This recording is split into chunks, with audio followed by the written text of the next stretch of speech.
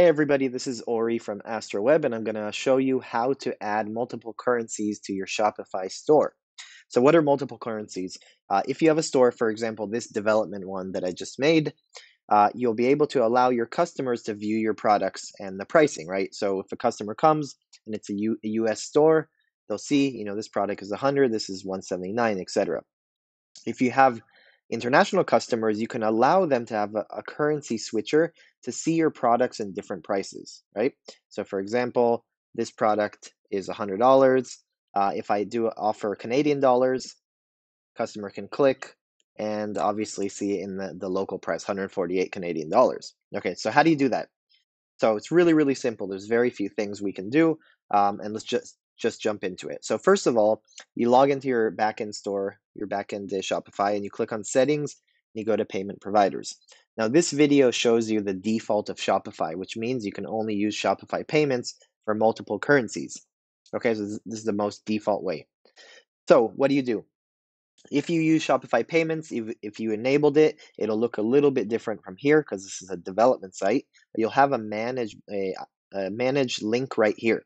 And uh, because this is a development site, I did something almost identical, which is I set up the Shopify development payments. So you don't need to do what I did, but on live site, you'd go to the Shopify payments, click on manage.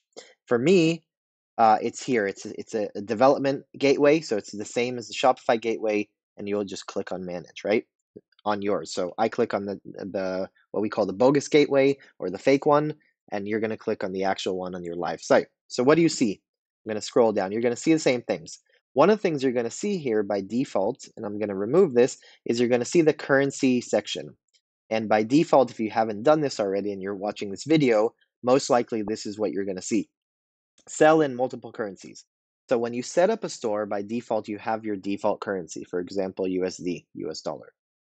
So you're going to click on add, and you're going to figure out who is your target audience, who is coming to your website, what currencies do you want to allow. So in this case, I'm going to allow, for example, I'm going to type in the search box, Canadian dollars, and for example, Mexican peso. You can add many, obviously, right? So you got to think about it. Once you do that, it's going to be added here. You can actually save it and proceed. But I want to show you one more thing. So if you click here on the arrow, you'll be able to see how the prices convert. So for example, 10 USD would convert into 15 Canadian dollars. The reason for that, a few things.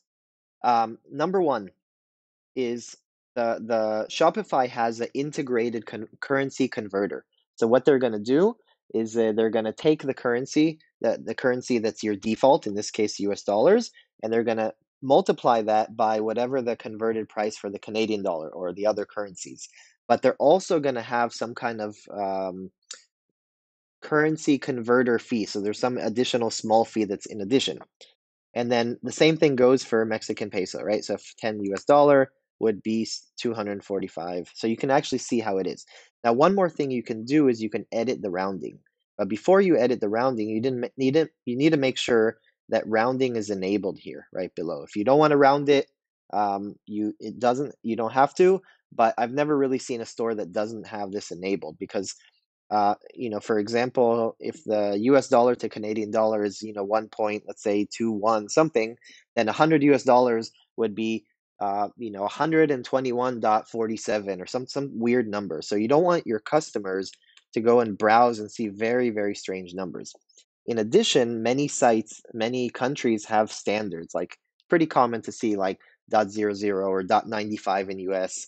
Um, but in some countries there's no decimals, etc. So you want to kind of think about what is your rounding logic. So if you go here, Canadian dollar, I can click on edit rounding and I can round them to these different things. So here are these uh, possible selections, right? I can round them to a, a, round number, I can round them to 99, 95, etc. So let's go and round it to 25 just for the sample.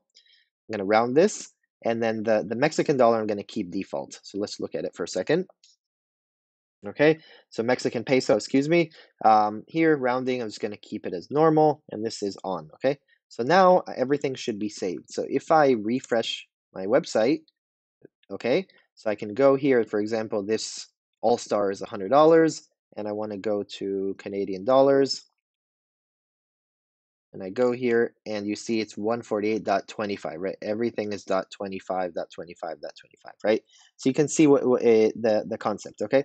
So that's pretty much it. So um, let me think about one more thing. So um, now customers can go and they can browse. So uh, if uh, th this video assumes two things, okay? Number one is you use Shopify payments. And the second thing is to make sure your theme actually supports multiple currencies. If you've followed the steps that I've done and this does not appear, there's no currency switcher, means your theme doesn't support. So you have to ask your developer to go and add a section in the place you want, for example, in the header here on the right, to add that. It's pretty simple. Should take a developer, you know, one, two, three hours. It should be pretty pretty quick, depending on the complexity, of course. So um, that's that's it. Uh, the other thing that it, that we need to consider is the multiple currencies, multiple payments in different currencies is available only on the front end, only on the the customer facing site.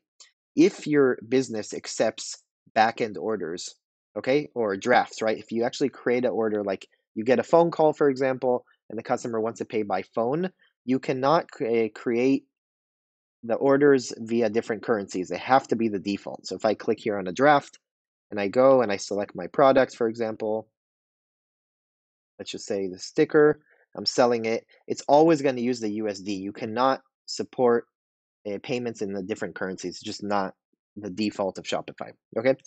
Um, other than that, uh, that's it. So if you have any questions, let me know. Uh, happy to answer this. Hope this makes sense.